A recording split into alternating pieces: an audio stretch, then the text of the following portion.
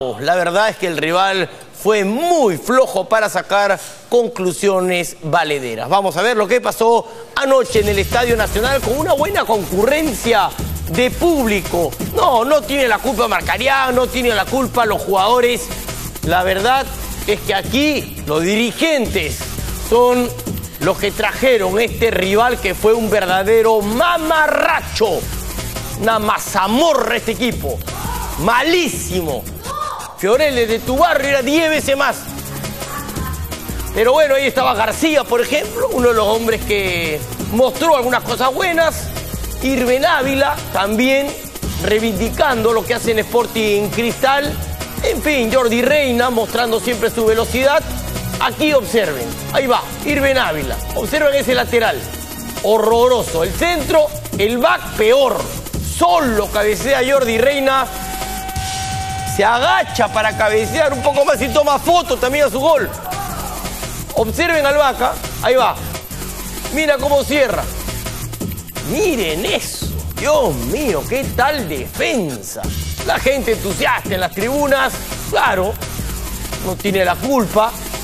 Trinidad y Tobago, que ya había jugado con Perú y ya había dado una pobrísima imagen, lo vuelven a traer. ¿De qué sirve un partido así? Engañas a los chicos, les haces creer que son mejores de lo que son. No hay otra. Aquí la única llegada de este que lo encontraron por ahí en el aeropuerto, lo treparon al equipo y se va Jordi Reina a la cancha Jefferson Farfán que le hace su reverencia a Jordi Reina. También que con estos cojos cualquiera juega bien. ¿ah?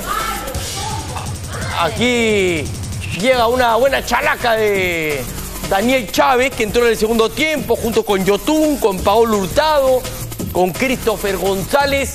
Y aquí va a llegar justamente el pase para Paolo Hurtado, solo, solo, solo, y define de derecha para el 2 a 0 a los 35 del segundo tiempo. Mira cómo se para ese equipo, Dios mío.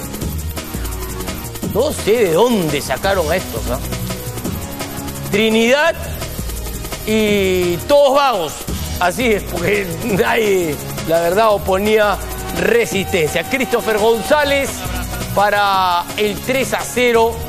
No, no nos engañemos, señores, no nos engañemos. Al final, el resultado fue una anécdota. Se mostraron algunos chicos, reitero, no tiene la culpa, pero la verdad, floja, floja la resistencia de este equipo de Trinidad y Tobago.